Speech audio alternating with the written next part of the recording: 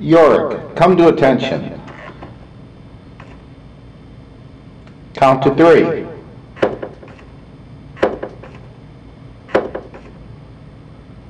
What's square root of four?